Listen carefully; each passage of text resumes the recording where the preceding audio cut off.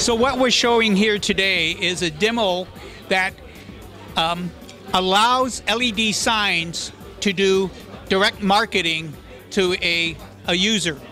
For example, here is a example LED sign.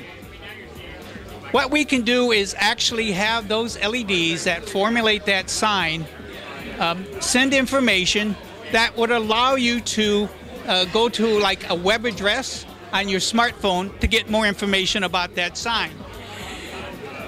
We have LEDs here that are actually sending data and pretend like those LEDs are part of this sign.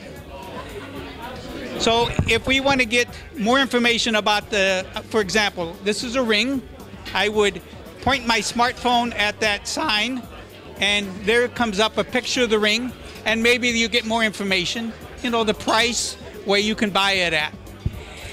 The way we do that is we modulate these LEDs with a data format that only your camera can see. Your eyes can't see it. To you, it looks like the LEDs are just on.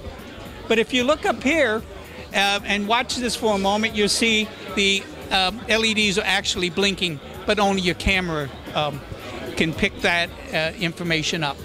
Yeah, this is very similar to a QR code, except I can't put a QR code onto here because it's it, it's not a LCD display. It doesn't have the pixel density to do a QR code.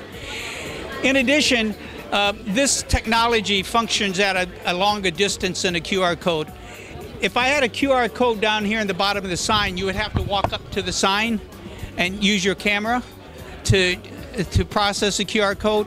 With this technology, you can actually stand back about 10 times farther and just point your camera at the, the sign, and you can pick up the same information that you would pick up off of a QR code.